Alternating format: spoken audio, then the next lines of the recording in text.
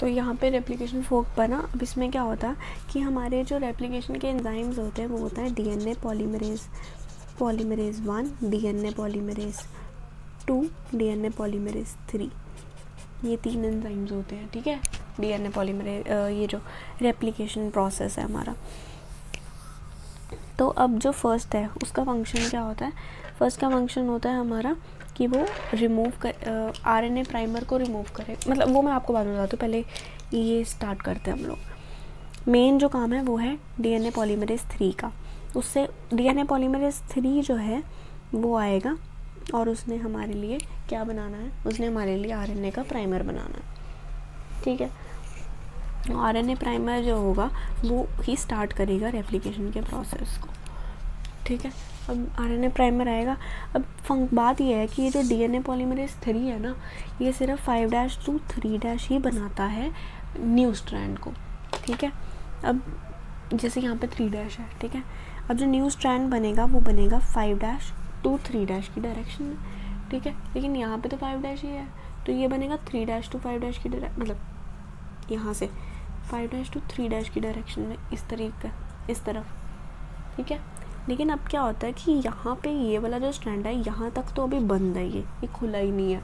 ठीक है? तो सिर्फ़ यहीं से स्टार्ट हो सकती है रेप्लीकेशन तो अगर यहाँ से स्टार्ट हो सकती है इतना बड़ा सपोज़ पाँच यहाँ पे भी है थ्री डैश ठीक है? ब्लैक वाला जो मैं बना रही हूँ, वो हमारा पेरेंट डी है। ये फाइव डैश जो मैंने ब्लैक से बना। ठीक है? अब क्या हो रहा है कि ये वाला यहाँ तक बंद है। तो five dash two three dash की डायरेक्शन में ही ये आर एन ए प्राइमर और ये D N A polymerase three work करेगा। इसीलिए ये जो है, पहले सपोज़ इतना बंद था। मैं आपको समझाती हूँ पहले इतना था, ठीक है? और ये five dash two three dash है और ये three dash two five dash है। ठीक है, ये पहले इतना बन था तो अब जो five dash two three dash बनेगा। ठीक है, ये बना, ऐसे। ठीक है, अब यहाँ पे जो फाइव डैश यहाँ पे जो बनेगा सॉरी मैंने उल्टा लिख दिया, यहाँ पे थ्री है, यहाँ पे फाइव है। फाइव है, यहाँ पे थ्री है। ठीक है, और यहाँ पे जो five dash two three dash बनेगा, वो बनेगा ऐसे। ठीक है, अब क्या हुआ, यहाँ से थोड़ा सा ज़्यादा खुल गया। नेक्स्ट पोजीशन में क्या हुआ? ये ज़्यादा खुल गया। ठीक है? अब यहाँ पे ये तो था ही, इधर की तरफ़ five dash two three dash लेकिन ये five dash two three dash ये बन गया। अब इधर जो next five dash two three dash आएगा ना, वो यहाँ पे आर ए प्राइमर दोबारा आएगा। फाइव डैश और यहाँ पे five dash two three dash की डायरेक्शन में दोबारा बनाएगा। लेकिन यहाँ पे दो, जो दूसरा वाला है लेकिन जो दूसरा वाला है, ये जो है, ये कंटिन्यूस ही रहेगा। क्योंकि ये उसकी डायरेक्शन में ही खुल रहा है। समझ में आया? कि five dash two three dash जब हम कर, जब हम बना रहे हैं यहाँ पे ये वाला तो फिर यहाँ पे ये खुल ही जा रहा है अपने आप तो ये आराम से बन रहा है। तो ये वाला जो स्ट्रैंड हो गया, वो हो गया कंटिन्यूस या फिर हम बोलते हैं इसे लीडिंग स्ट्रैंड लीडिंग स्ट्रैंड ठीक है?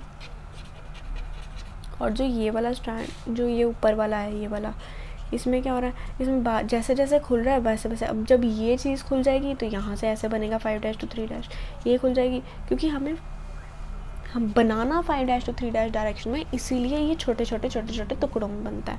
इस स्ट्रैंड को हम बोलते हैं लैगिंग स्ट्रैंड ठीक है?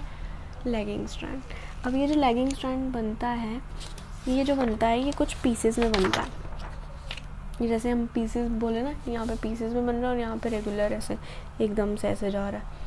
तो ये जो पीसेस में बनता है, इन पीसेस को हम बोलते हैं ओका साकी फ्रेगमेंट्स ओका साकी फ्रेगमेंट्स ओका साकी फ्रेगमेंट्स कुछ नहीं डीएनए के छोटे छोटे फ्रेगमेंट्स हैं। ठीक है, ये हो गया हमारा ओका साकी फ्रेगमेंट्स और ये जो है वो कंटिन्यूसली बनता है। अब क्या होगा जब ये ख़त्म हो जाएगी रेप्लीकेशन ठीक है तो व्हाट विल हैपन कि ये डीएनए पॉलीमरेज वन जो है ना, ये डीएनए पॉलीमरेज वन इसका फ़ंक्शन ये डीएनए पॉलीमरेज वन का फ़ंक्शन क्या है? इसका फ़ंक्शन ये है कि ये जो है वो आरएनए पॉलीम जो प्राइमर्स हमने डाले हैं ना यहाँ पे बार बार यहाँ पे प्राइमर डाला। एक दिखाती हूँ आपको, जैसे यहाँ पे है, ठीक है? यहाँ पे हमने ये प्राइमर लिया और इस डायरेक्शन में शुरू हो गए। यहाँ पे प्राइमर लिया five dash two three dash जब ये खुला तो फिर यहाँ पे दोबारा प्राइमर आ गया जंप कर कर. फिर ये primer five dash two three dash ऐसे फिर ये ये खुलेगा, फिर यहाँ पे प्राइमर आ जाएगा. तो इस तरीके से प्राइमर जो है यहाँ पे प्राइमर और फिर डीएनए फ्रेगमेंट मतलब ये जो है, ये ओकाजाकी फ्रेगमेंट्स हैं पिंक वाली और ब्लैक वाले आरएनए प्राइमर्स हैं. ठीक है? तो इन प्राइमर्स को रिमूव करने का फ़ंक्शन जो है, वो करता है डीएनए पॉलीमरेज वन ठीक है? इन R N RNA polymerase RNA primers को रिमूव करेगा, इनका गैप भी फिल करेगा। ठीक है? इनका गैप भी कौन फिल करेगा? डीएनए पॉलीमरेज वन और फिर जो डीएनए पॉलीमरेज टू है, वो क्या करेगा? वो प्रूफ रीडिंग करेगा कि सही बन रहा है या नहीं। और वो रिपेयर कर देगा, अगर कोई चीज़ गलती उसको मिल गई। तो टू क्या है? रिपेयर और प्रूफ रीडिंग के बारे में। ठीक है? उसके बाद हमारा एक इटोपोसाइड ड्रग आता है, वो जो हमने डी एन ए किया है ना, उसको वो ब्लॉक कर देता है। अब अगर D N A topoisomerase block हो गया मतलब कि वो कटिंग और रीसीलिंग नहीं हो रही मतलब कि सुपर कॉइल्स बने हैं। अगर सुपर कॉइल्स बने ही हैं तो फिर आगे फर्दर एप्लीकेशन नहीं हो पाएगी। तो सेल जो है सेल ग्रो सेल की ग्रोथ नहीं हो पाएगी। ठीक है? ये हम लोग इटोपोसाइड ड्रग कब यूज़ होती है जब हम जब कैंसर हो। तो कैंसर में तो हमें चाहते ही नहीं कि सेल ग्रो हो। इसलिए ये डू एन ए टोपोआइसोमरेज के ऊपर अफेक्ट करता है कौन? Etoposide so this was replication process which is uh, in eukaryotes sorry prokaryotes. में जो जो चीज़ें हैं वो मैं आपको नेक्स्ट वीडियो में बताती हूँ। Thank you